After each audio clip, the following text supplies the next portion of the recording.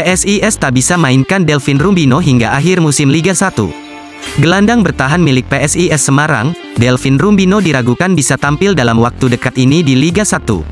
Pemain asal Papua ini mengalami cedera cukup parah ketika PSIS melakoni laga kandang melawan Persita Tangerang di Stadion Jatidiri dalam lanjutan Liga 1 pekan lalu.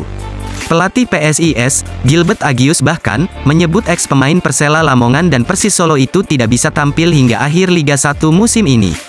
Delvin cedera cukup parah, dan harus membutuhkan penyembuhan yang lama, saya tidak tahu apakah musim ini dia masih bisa main atau tidak, kata Gilbert Agius kepada tribunbanyumas.com, Rabu, tanggal 15 November tahun 2023. Beda formasi PSIS Semarang setelah Evan Dimas datang, Dewangga ganti posisi, Pelatih Gilbert Agius berpotensi mengubah formasi PSIS Semarang setelah kehadiran Evan Dimas Darmono, Alfeandra Dewangga bisa ditarik ke lini belakang lagi dalam skema 352 di sisa pertandingan Liga 1 2023-2024.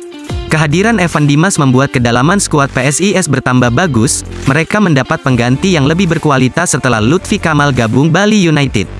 Pada musim ini, Dewangga sering ditandemkan dengan Bou Bakari Diara di sektor tengah, Dewangga punya tugas lebih dalam memotong serangan lawan, serta sesekali membantu timnya menyerang. Evan Dimas bisa membuat Dewangga pulang ke lini belakang, Evan Dimas bertugas sebagai penyalur bola ke depan. Sementara Diara dikembalikan ke fungsinya sebagai pemotong serangan lawan. Formasi 3-4-3 menjadi alternatif karena Dewangga terbiasa menjalankan hal tersebut di timnas Indonesia, Dewangga berpotensi ditempatkan sebagai bek sisi kiri.